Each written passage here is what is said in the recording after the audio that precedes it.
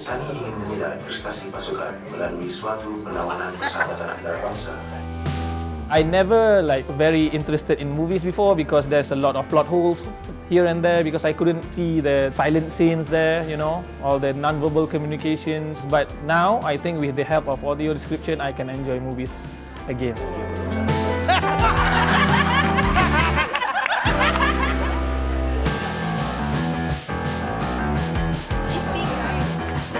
Congratulations to uh, guys. Can't wait to see the movie. We're really, really excited and we don't know what to expect. That's why I wore no mascara, only waterproof eyeliner because I have a feeling I'm going to be crying. Will I be crying?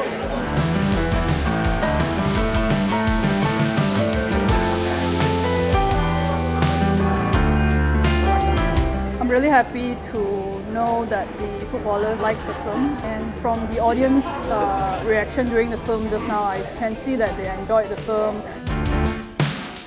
I'm actually amazed. I mean, it's so emotional. It's got a nice humor to it. I think this is so refreshing.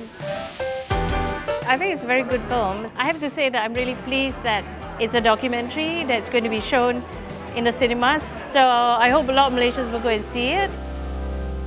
I'm totally overwhelmed.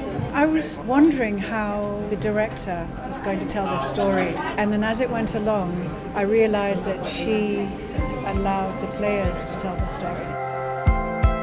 Every single beat of the film is interesting. There's no dull moment. And all those characters, the way it's being edited, the choice of shots, everything, I, I, I love it. I, I, I truly, truly, sincerely love it. You buy this film to be entertained because there are great characters in it, to feel emotional, to, to feel good, to think. And this is about country. Most importantly, it's about Malaysians. So definitely you should watch it.